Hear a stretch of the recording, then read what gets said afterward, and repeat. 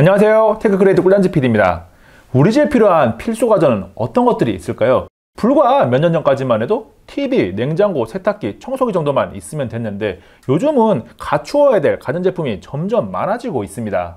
특히 공기청정기는 연간 판매량이 2014년도에 50만 대, 2016년도에 100만 대, 2018년도에 200만 대를 돌파했고 올해는 그 이상 더 높은 판매량을 기록할 것으로 예상이 됩니다. 이제는 시기를 가리지 않고 미세먼지 이슈가 있고 우리 건강에 대한 관심도 예전보다 훨씬 높아졌기 때문에 이 공기청정기도 필수가 된 제품이라고 할 수 있겠죠. 그래서 집이나 사무실 등의 공기청정기를 구매하고 싶은데 고민하는 분들을 위해서 합리적인 가격으로 구매할 수 있는 녀석을 하나 들고 왔는데요. 바로 캐리어 클라윈드 공기청정기 18평형 제품입니다. 개인적인 기준으로 공기청정기는 모든 것을 다 갖추고 럭셔리한 느낌을 주는 7, 80만원 이상의 프리미엄 라인업 20만원 이하에서 오직 공기청정 기능 하나만 가지고 있는 보급형, 즉 저렴한 라인업이 있고 30에서 50만원대에서 럭셔리한 느낌을 주기도 하고 기능을 대부분 다 갖추고 있으면서도 가격이 합리적인 중가격 라인업이 있습니다. 캐리어 클라윈 공기청정기는 중가격 라인업에 속하는 제품인데 까놓고 말해서 다 필요 없고 그냥 공기청정 기능 딱 하나만 있으면 된다는 분들에게는 어울리는 제품은 아닙니다. 저는 그런 분들에게는 20만원 이하의 저가형 공기청정기를 추천하곤 합니다. 그런데 공기청정기를 사용하면서 이동의 편의성, 소음, 조장의 편의성 등 기능적인 요소에 초점을 맞추고 사용하는 분들에게는 캐리어 클라윈드 공기청정기가 충분히 괜찮다는 생각이 들어요. 지금부터 제가 왜 그렇게 생각했는지를 꼼꼼하게 알려드릴게요. 공기청정기를 사용할 때 원형 필터가 판형 필터보다 더 좋다는 것은 널리 알려진 사실인데요. 캐리어 클라윈드 역시 프리 필터와 H13 헤파 필터, 탈취 필터가 하나로 된 일체형 원형 필터를 사용하고 360도 모든 방향에서 공기를 흡입해서 상부로 맑아진 공기를 내보냅니다. 이때 헤파 필터가 초미세먼지를 99.95% 제거하고 탈취 필터가 5대 유해가스를 제거해 줍니다. 그리고 나노이라는 기술이 적용되어서 99.9%의 제균 효과까지 있다고 합니다. 이 녀석이 다른 공기청정기들과 차별화된 강점이 바로 여기에 있는데요. 국내 유일 미생물 공인 시험 기관인 KCL의 시험 성적수를 보면 폐렴균, 농농균, 대장균, 황색 포도상 구균까지 우리가 흔히 4대 병영균이라 부르는 녀석들을 99.9% 제거하는 거죠.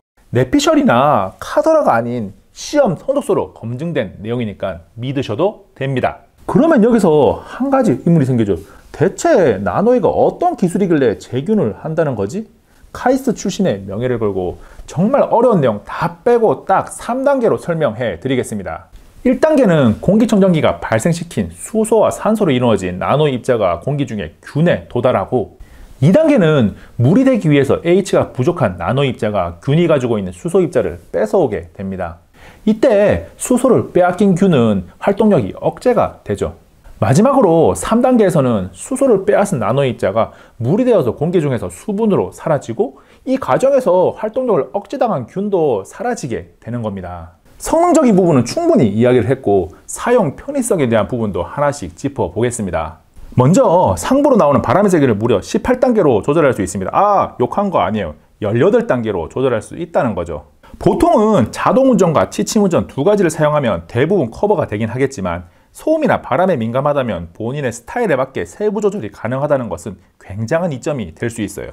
그러면 이쯤에서 클라윈드 공기청정기의 소음을 바로 앞과 2m 거리에서 측정을 해 보겠습니다. 치침 모드이긴 한 1단계 사용 시 소음을 측정하고 있는데요. 41dB까지 내려가는데 이게 공기청정기의 소음이라기보다는 평소 소음 크기거든요. 즉 공기청정기가 내는 소음이 거의 없다고 볼 수 있는 거죠. 바로 앞에서 1단계 소음을 측정해 봐도 42dB 정도로 평소 주변 소음 정도가 측정이 됩니다.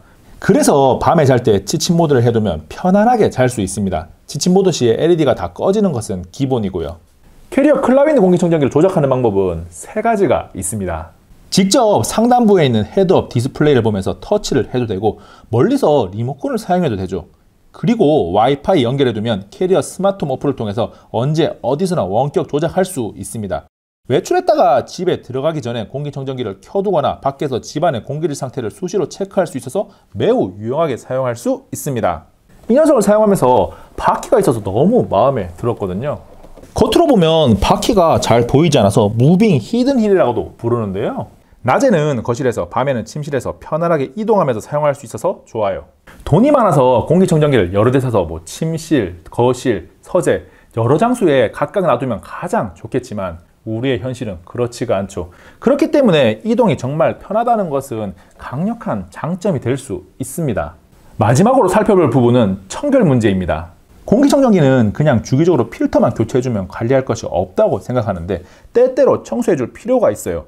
원형 필터에서 헤파 필터나 탈취 필터는 우리가 건드리면 안 되는 부분이지만 가장 바깥쪽에 있는 pre-filter에 붙어 있는 먼지는 직접 제거함으로써 공기청정기 성능을 극대화할 수 있어요.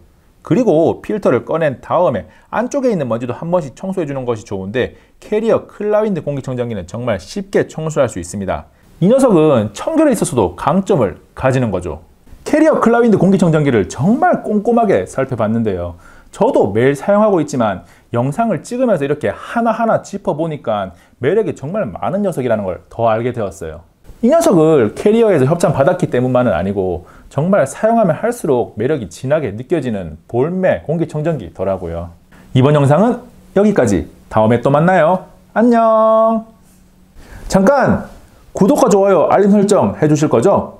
이것도 한번 보세요. 최신 영상이고 이 출전 영상도 괜찮아요.